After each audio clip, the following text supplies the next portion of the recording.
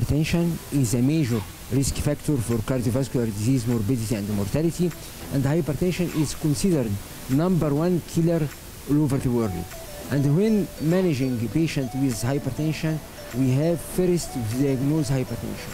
If the patient has hypertension or not before starting treatment, and then risk stratification of our patients.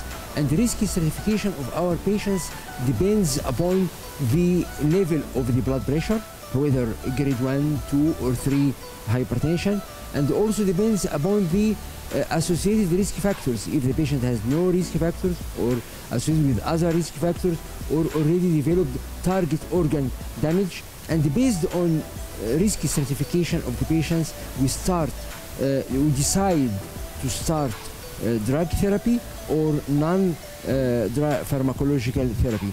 And if we started, uh, decided to start drug therapy, we have to choose uh, to start by monotherapy or combination therapy. This depends upon the pre-treatment level of the blood pressure and the goal of uh, hypertension reduction.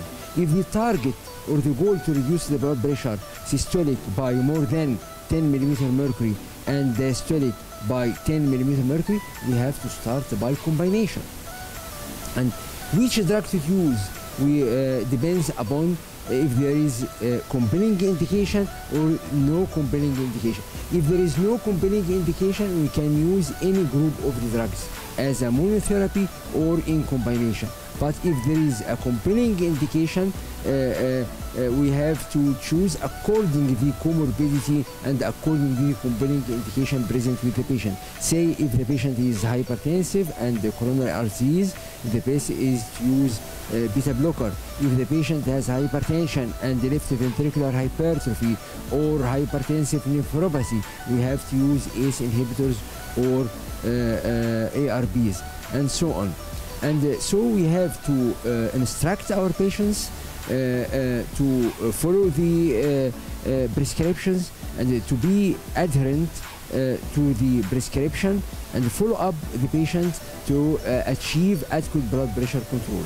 And to prevent the target organ damage, number one, we have to achieve adequate blood pressure, blood pressure control and then look for benefits beyond the blood pressure uh, control. After controlling the blood pressure, we have to choose drugs that can uh, uh, protect the cardiovascular system, the brain, the heart, the kidney, and so on.